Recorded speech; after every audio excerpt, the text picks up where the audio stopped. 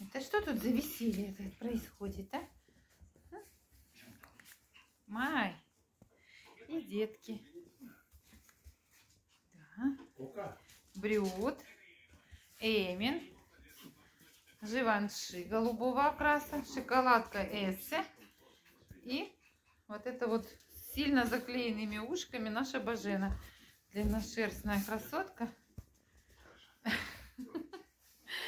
Детям сегодня 53 дня, по-моему. Но не всем. Голубой живанши. Она старшая вот эта девчонка на 3 недели, а шоколадному майбаху 4 месяца.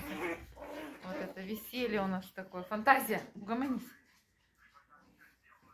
Вот так у нас, вот так у нас вечером весело. Да? Эмин?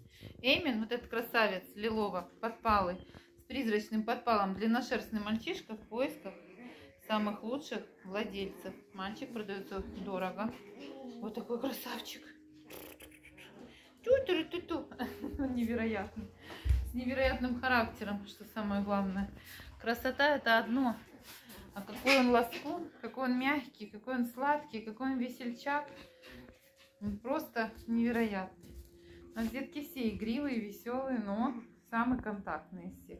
И Эска очень контактная. Эса, скажи, я тоже очень сильно контактная. А и Брютик такой вот, он, ты такой хулиганчик. Такой ребеночек хорошенький. Мои любимые, все любимые, все красивые, все самые лучшие. Царица, взрослая тетка. Вот так вот у нас интересно. А что тут Майбах нашел? Мячик. А это наша Боженка. Божена, дитя. Красота ужасная. Лиловая вот такая вот девчонка лиловая подпалая. Длинношерстная. Не продается. Из всех этих деток в продаже вот этот вот сладкий бурундучок. Он не огромный, как кто-то мне написал, он огромный. Никакой он не огромный, он длинношерстный, да, он крепенький, низенький, коренастенький. Ему не в кого быть огромным. Ему не в кого быть другой породы. У него шикарные родители.